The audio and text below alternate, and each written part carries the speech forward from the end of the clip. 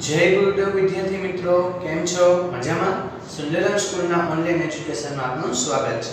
આજે આપણે ધોરણ 6 માં આપણું ચેપ્ટર નંબર 8 દશાંશ સંખ્યા. તે આપણે કન્ટિન્યુ કરશું. અત્યાર સુધી આ ચેપ્ટરમાં આપણે દશાંશ સંખ્યા કોને કહેવાય, શતાંશ સંખ્યા કોને કહેવાય સહસ્ત્રાંશ કોને કહેવાય તે આપણે શીખી ગયા. તે 8.1 પણ આપણે જોયું, તેમાં આપણે દશાંશ એકમ સુધી આપણે જોયું. હવે આપણે એકમ જોશું તો કે શતાંશ. તો તે આપણે સ્વાધ્યાય 8.2 માં જોવાનું છે. જે વસ્તુ આપણે સ્વાધ્યાય 1.1 માં જોઈ છે, તે જ વસ્તુ આપણે સ્વાધ્યાય 8.2 માં જોવાની છે. એમાં કોઈ પણ પ્રકારનો ચેન્જીસ નથી ખાલી એમાં દશાંશનો એકમ હતો એમાં શતાંશનો એકમ છે જોઈએ. વિદ્યાર્થી મિત્રો, પાઠ્યપુસ્તક બાજુમાં રાખજો અને તેમાં પાના નંબર છે 173 પાના નંબર 173 માં સ્વાધ્યાય 8.2 હવે જેમાં પ્રશ્ન નંબર પહેલો છે તો દશાંશ ઉપયોગ કરી સંખ્યા લખો એટલે કે જે તમે 1 થી 5 ધોરણમાં તમે ભણી ગયા, કે શું? કે ટોટલ પેલા ખાના ગણવાના. તો કે જો તમને એમાં આકૃતિમાં આપ્યું છે. બરાબર છે? ઓકે? એ ખાના ગણી તમારે પછી કુલ ખાના હોય નીચે લખવાનું. પછી જે કલર વાળા ખાના હોય તે ઉપર લખવાના. પછી એને તમારે શેમાં ફેરવી નાખવાનું? દશાંશમાં ફેરવી નાખવાનું. એ પ્રશ્ન છે. આપણે આગળના પ્રશ્ન કરશું એટલે આવડી જશે તમને. એટલે પહેલો પ્રશ્ન છે તે તમારે જાતે કરવાનો છે. હવે આપણે વાત કરીએ બીજો પ્રશ્ન. બીજા પ્રશ્નમાં શું કીધું? નીચે આપેલી સ્થાન કિંમત કોષ્ટકના આધારે દશાંશ સ્વરૂપમાં સંખ્યા લખો. આપણને જો એવી એક આવી રીતના કોષ્ટક આપેલું છે. 100 દશક એકમ. દશાંશ શતાંશ બરાબર છે? ઓકે, પછી સહસ્ત્રાંશ આપ્યું છે? હા. સહસ્ત્રાંશ પણ આપ્યું છે. આ રીતના આપણને રકમ છે તે આપેલી છે. હવે આપણને ખબર છે કે દશાંશ અને એકમની વચ્ચે જે આ લીટો આવે છે, બરાબર છે? એમાં કોઈ ઘાટો લીટો કે તમને કરીને નહીં બતાવ્યું. પણ આપણે યાદ રાખવાનું છે જે આ લાઈન આપેલી હોય છે, ત્યાં શું આવેલું હોય છે? પોઈન્ટ આવેલું છે. તો પોઈન્ટ. અને આ ડાબી બાજુની સંખ્યા છે, આ છે જમણી બાજુની સંખ્યા. આ રીતના તમને કોષ્ટક છે તે આપેલું છે. હવે આમાંથી તમારે દશાંશ સ્વરૂપની સંખ્યામાં કઈ રીતના લખવાનું? જો પહેલી રકમમાં આપણે જોઈએ તો પહેલા શું આપ્યું છે? 0 0 3 પછી બીજું આપ્યું છે 2 5 0 ઓકે, તો આને પોઈન્ટમાં કઈ રીતના લખવું? તો જો, વચ્ચેની લાઈન છે, તો આપણે પહેલા પોઈન્ટ કરી ડાબી બાજુ શું છે? જેમ છે એમ લખવા મળ્યું 3 0 0 અહીંયા જમણી બાજુ જેમ છે તેમ લખવાનું. તમારો જવાબ આવી હા, તમે આને આમ પણ લખી શકો છો. 0.250 છે. તો આ 0 તમે કાઢી શકો છો, એટલે 3.250 પણ તમે છે લખી શકો છો. જે બીજું જોઈએ, બીજામાં તમને શું કીધું? 102 630 આ રીતના આપેલું છે, હા. તો હવે આપણે પોઈન્ટ કરશું. પોઈન્ટની ડાબી બાજુ શું છે? તો ઊંધેથી લખતા જાઓ 2 0 1 પોઈન્ટની જમણી બાજુ 6 3 0 આપણો જવાબ એવો 102.630 આ રીતના છે તે આપણે જવાબ જોઈ શકીએ છીએ. કોષ્ટકમાં ખાલી સંખ્યા જે આપેલી છે એ આપણે ગોઠવીને લખવાની છે, બાકી બીજું કાંઈ કરવું નથી. એટલે તમને દશાંશ સ્વરૂપની સંખ્યામાં તમને જવાબ મળી જશે. ઓકે વિદ્યાર્થી મિત્રો? ત્યારબાદ પાના નંબર 174 એટલે કે પાછળના પાના નંબર ઉપર પ્રશ્ન નંબર 3 આપ્યો છે. નીચે દશાંશની સ્થાન કિંમતને કોષ્ટક બનાવીને લખો. આપણે સ્થાન કિંમતને કોષ્ટક બનાવવાનું છે. તો એ કોષ્ટકમાંથી દશાંશનો ફેરવો દશાંશ સંખ્યામાંથી કોષ્ટકમાં લખવાનું. કઈ રીતના? આપણે અગાઉ પણ ભણી ગયા છો ધ્યાન પોઈન્ટ 1 માં તો એ જ વસ્તુ કરશું. કોષ્ટક તો આ જ આવશે, એમાં કોઈ પણ પ્રકારનો ચેન્જીસ આવશે નહીં. તો જો, એમાં આપણે શું કરી શકશું?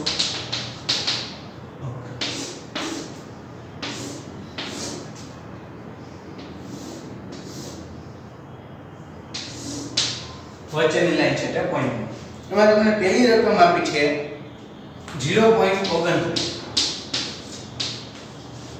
ઓકે પોઈન્ટ એટલે વચ્ચેની લાઈન ઓકે, તેની જમણી બાજુ, તો કે 2 9 જે આપ્યું છે એમાં લખી નાખવાનું. બાકી બીજું કાંઈ વિચારવાનું નહીં. ડાબી બાજુ 0 તો આ બાકીના ખાના ખાલી રહી ગયા. જો અહીંયા શું મૂકી દેવાનું? 0 પહેલો પ્રશ્ન પૂરો. એ રીતના જે ઉદાહરણ લો પ્રશ્ન નંબર 3 માં તમને ઉદાહરણ લઉં તો ડી 148.32 પોઈન્ટની જમણી બાજુ 3 2 ડાબી બાજુ ઊંધેથી લખીએ 8 4 1 બરાબર છે? ખાનું ખાલી છે ત્યાં શૂન્ય. કોષ્ટકમાં કિંમત બાકી એમાં બીજું કાંઈ કરવાનું આપણે છે નહીં. ઓકે, એટલે આ રીતના તમે કોષ્ટકમાંથી દશાંશ અને દશાંશમાંથી કોષ્ટકમાં તમે કિંમત મૂકી શકો છો. ત્યારબાદ આપણે જોઈએ પ્રશ્ન નંબર 4 આવો પણ પ્રશ્ન આપણે જોઈ ગયા. ઓકે તો જો પ્રશ્ન નંબર 4 માં તમને શું કીધું છે? કે સૂચના વાંચીએ. તો કે નીચેની સંખ્યાને છે, એમાં પણ આપણે દશાંશ સ્વરૂપમાં ફેરવવાની કીધી છે. એમાં તમે જોશો તો તમને સરવાળા આપેલા છે. ઓકે દરેક સંખ્યાને દશાંશ સ્વરૂપે લખો. એમાંથી પહેલો પ્રશ્ન છે,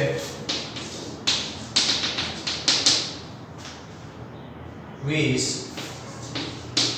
પ્લસ નવ પ્લસ ચાર ના છેદમાં દસ. પ્લસ એક ના છેદમાં સો. ઓકે, આ રીતે તમને સંખ્યા હવે આને જરા દશાંશમાં ફેરવતા પહેલા શું કરશો? તો કે 20 એમ પ્લસ 9 mm પ્લસ 4 ના છેદમાં 10 તો જો આપણે અપૂર્ણાંક સંખ્યાને પોઈન્ટમાં લખતા શીખી ગયા. અહીં એક શૂન્ય છે એટલે એક અંક પછી પોઈન્ટ એટલે 0.4 આવશે. આ બે શૂન્ય છે તો બે અંક પછી પોઈન્ટ એટલે 0.01 આવશે.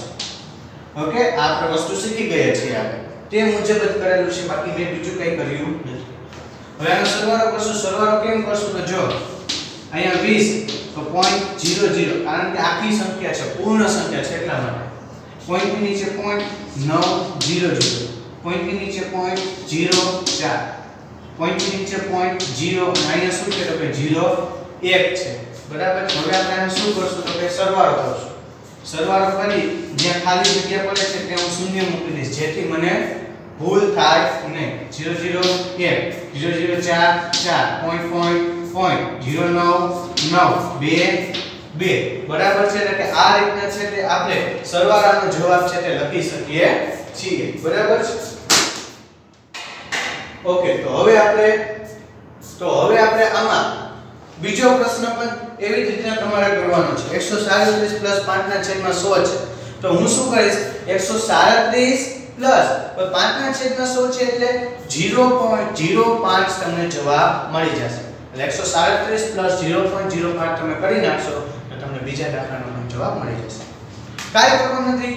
અપૂર્ણાંકમાં આપેલું છે, એને કદાચ દશાંશમાં ફેરવી નાખો, પછી એનો સરવાળો કરી નાખો એટલે તમને જવાબ છે તે મળી જશે. બીજો પાંચમો પ્રશ્ન.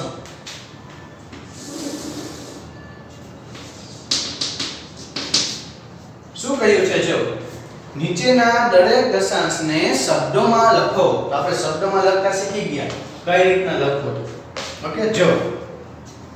પહેલું આપ્યું છે આપણને 0.3 તો જો અહીંયા તો 0 છે એટલે અહીંયા પૂર્ણાંક તો ક્યાંય લખવાનો નથી. કારણ કે પોઈન્ટની ડાબી બાજુ કોઈ સંખ્યા હોય તો પૂર્ણાંક શબ્દ પણ અહીંયા કઈ છે નથી. અહીંયા ખાલી 0 જ છે. એટલે હવે આપણે શબ્દ શું આવશે? કાં દશાંશ આવશે, શતાંશ આવશે, કાં તો સહસ્ત્રાંશ આવશે. પોઈન્ટ પછી કેટલા અંક છે? બે અંક છે. બરાબર છે? એટલે શું આવશે? શતાંશ આવશે. આપણે શીખી ગયા. ત્રણ અંક હોય તો શું આવે? સહસ્ત્રાંશ એક અંક હોય તો દશાંશ. બે અંક છે. અને અહીંયા શું આપેલું છે? ત્રણ તો. શતાંશની આગળ કેટલા લખી નાખું? ત્રણ. આપણો જવાબ પૂરો થઈ ગયો. ઓકે તે રીતના આપણે કોઈ બીજું જોઈએ. ઓકે જો, તે જ રીતના હું f જો f માં આપણને શું આપેલું છે? 5.008 તમે જો પોઈન્ટની ડાબી બાજુ કિંમત આપી છે 5 તો હું શું લખીશ? 5 પૂર્ણાંક. હવે જો પોઈન્ટ પછી કેટલા અંક આપ્યા છે? 3 અંક આપ્યા છે. તો પહેલા સંખ્યા લખી નાખું. 8 હવે કેટલા? 1 2 3 ત્રણ અંક આપેલા છે. એટલે શું આવશે? સહસ્ત્રાંશ 5 પૂર્ણાંક 8 સહસ્ત્રાંશ આ રીતના છે કે આપણે શબ્દમાં કોઈ પણ દશાંશ સંખ્યાને લખી શકીએ છીએ. ઓકે વિદ્યાર્થી મિત્રો, બાકીના જે પ્રશ્નો છે, પ્રશ્ન નંબર 5 માટે તમારે જાતે કરવાના છે. પ્રશ્ન નંબર 6 જોઈએ. સંખ્યા રેખા પર દશાંશ સ્થાનના કયા બે બિંદુઓ વચ્ચે સંખ્યાઓ રહેલી છે તે આપણે દર્શાવવાનું છે.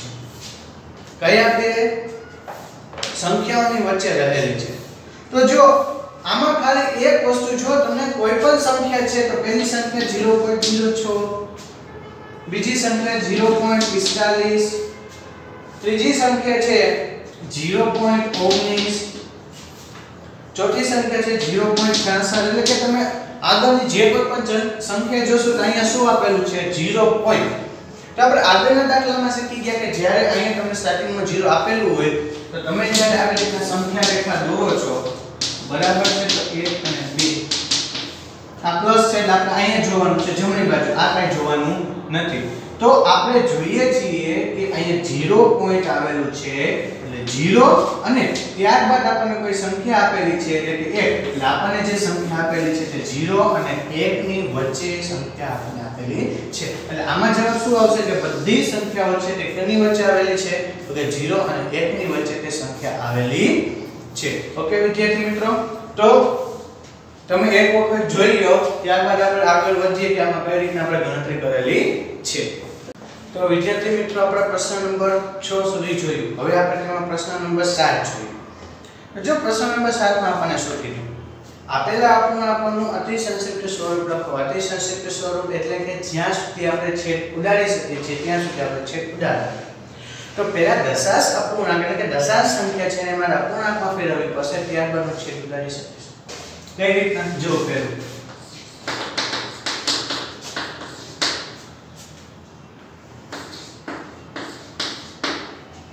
પહેલું આપણને આપેલું છે 0.60 તો 0.60 છે એને અપૂર્ણાંકમાં ફેરવીશ એટલે કઈ રીતના? 60 ના છેદમાં 100 60 ના 60 એમ એમ પોઈન્ટ પછી બે અંક એટલે 2 શૂન્ય. એટલે 60 ના છેદમાં 0 0 પર વધ્યું શું 6 ના છેદમાં 10 હવે 2 તેરી 6 2 પંચા 10 2 2 ઉડી ગયો. વધ્યું શું 3 ના છેદમાં આ રીતના છે કે આપણે અતિશય સ્વરૂપમાં જવાબ લઈ શકીએ છીએ ફરી પાછું એક વસ્તુ છે ઉદાહરણ એમાં તમને 2 3 અને 5 ની ચાલ છે તે તમને ખાસ આવડવી જોઈએ. અને છેલ્લે જીરો હોય ક્યાં છેલ્લે તો એ ઉડી શકે છે. ઓકે? એટલે રીતના તમને કેટલાક દાખલા આપેલા છે, બરાબર છે, બાકીમાં બીજું કંઈ કરવાનું નથી. આ રીતના તમારે ગણતરી એક જી કરાવી કરાવીએ, તો જી જો શું છે 0.086 અપૂર્ણાંકમાં લખીએ 66 જો કાઈ નથી 66 જ છે અને અહીંયા જો પોઈન્ટ પછી કેટલા છે? 1 2 3 1 2 અને 3 શૂન્ય ઓકે હવે આપણે આને છેદ ઉડાડીએ તો જો 33 દુ 66 500 દુ 1000 બે બે ઉડી ગયા વધ્યા શું? 33 ના છેદમાં હવે આના કોઈ પણ રીતે છેદ ઉડી શકતા નથી. એટલે આ આપણે શું આવી ગયું ફાઇનલ આન્સર કોક એવું હોઈ શકે છે, મોટી સંખ્યા હોઈ શકે છે, પણ જો આમાં મેં બે ની ચાવીનો ઉપયોગ કર્યો એટલે મને છેદ ઉડાડવામાં કેવી રહી સરળતા ઓકે?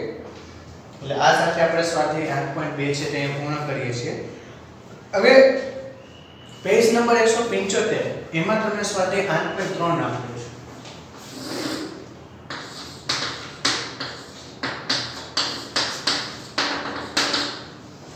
એમાં તમને શું કીધું? કઈ સંખ્યા મોટી છે તે જણાવો.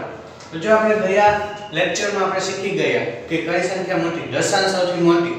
સટાંશ તેનાથી નાની. સહસ્ત્રાંશ તેનાથી સાવ નાની એટલે આપણે આમાં ચતુર્ક્રમ કરીએ તો સહસ્ત્રાંશ સટાંશ અને દશાંશ. પોઈન્ટ પછી એક જ અંક આપેલો હોય તો આપણે ખાલી એક અંકને જોવાનું. પોઈન્ટ પછી બે અંક આપેલો હોય તો બંને અંકને જોવાનું. ત્રણ અંક આપેલા તો ત્રણેય અંકને જોવાનું. કઈ રીતના જો? પેલું છે 0.3 અને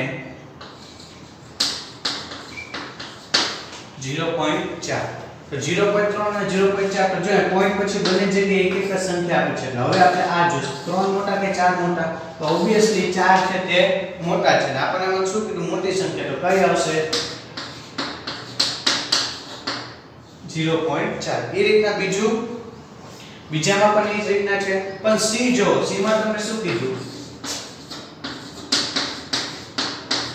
3 કે 0.8 અહીંયા ખાસ ધ્યાન રાખજો, અહીંયા 8 જોઈને ડાયરેક્ટ લખી નથી નાખવાનું 0.8 અહીંયા જો 3 છે પૂર્ણ સંખ્યા છે, બરાબર? તે 0.8 છે, તો અહીંયા 0 છે, તો પહેલા આપણે આ જોવું પડે.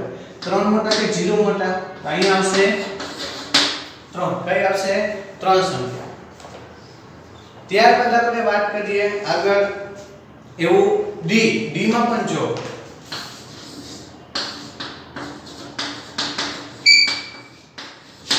તો અહીંયા આપણે જોઈએ છીએ પોઈન્ટ પછી એક જ સંખ્યા છે અને પોઈન્ટ પછી બે સંખ્યા છે.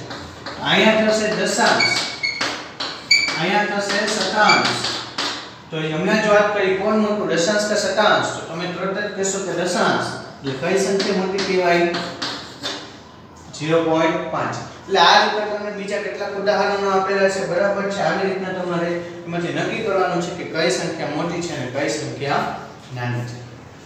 પછી પ્રશ્ન નંબર બીજો છે ગમત જેવો પ્રશ્ન છે તમારે જાતે કરવાનો છે, બરાબર છે, ઓકે બાકીમાં બીજું કઈ છે નહીં. વિદ્યાર્થી મિત્રો, અહીંયા આપણે સ્વાધ્યાય 8.2 અને સ્વાધ્યાય 8.3 જોયું. દશાંશ અને શતાંશ સંખ્યાનો કઈ રીતના ઉપયોગ આવી શકે તો ગણતરી આવી શકે એ બેઝિક ગણતરીઓ છે. હવેના પછીના સ્વાધ્યાયોમાં, એટલે કે 8.4 થી આપણે ચાલુ કરશું, તો એમાં આપણે એના ઉપયોગ વિશે ચર્ચા કરવાનું આવશે. તો વિદ્યાર્થી મિત્રો, હું તમને એક વાત કહેવા માંગુ છું. કે જ્યારે આપણે સેશન પૂરું થાય, મારી આઠ પર ત્રણ સેશન આજનું પૂરું થયું. તો આવતા સેશનમાં આપણને ખબર જ છે કે સ્વાધ્યાય 8.4 ચાલુ થશે.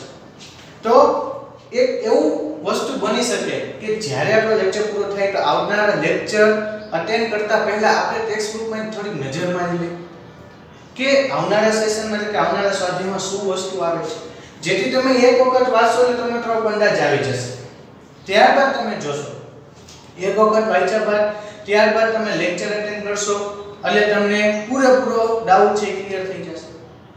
પછી જ્યારે તમે પ્રેક્ટિસ કરવા બેસશો તો અત્યારે જેટલી તકલીફ પડે છે, એટલી તકલીફ તમને ત્યારે પડશે તો આ રીતના છે એક મેથડથી તમે ગણિતને છે તે ઈઝી બનાવી શકો છો. તો ઓકે, વિદ્યાર્થી મિત્રો, આ સેશનમાં આપણે આટલું રાખીએ છીએ. આવતા સેશનમાં કંઈક નવું શીખશું. ત્યાં સુધી હું તમારી સમક્ષ રજા લઉં છું.